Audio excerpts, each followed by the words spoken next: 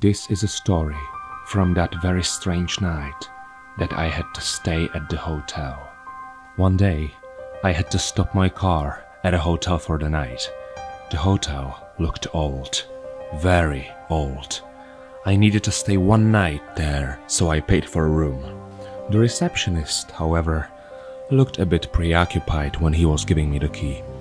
Sir, I just need to tell you one thing. Refrain yourself from leaving your room too much at night. We. well, we don't want you to disturb other guests. That was a strange sentence. Disturb other guests? Just by going outside my room? Well, I decided not to say anything, and I followed upstairs. So I came to my room and went straight to sleep. But at one moment, I got woken up. I heard a strange scratching. Someone or something was scratching on the door of my room.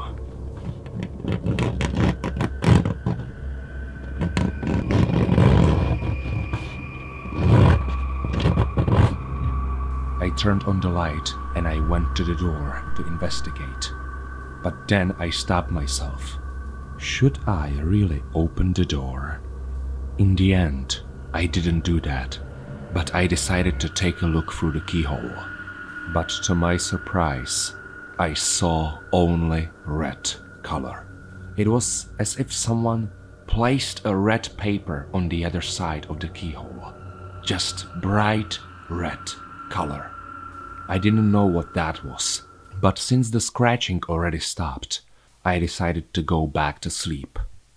In the morning, when I looked through the keyhole again, it was completely normal. I saw only the empty hallway of the hotel. So I packed my things and went straight to the reception.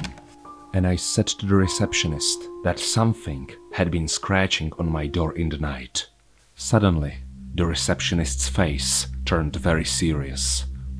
Oh no, so it is still happening. You know, sir, I need to tell you about one thing. Twenty years ago, there was a murder in this hotel.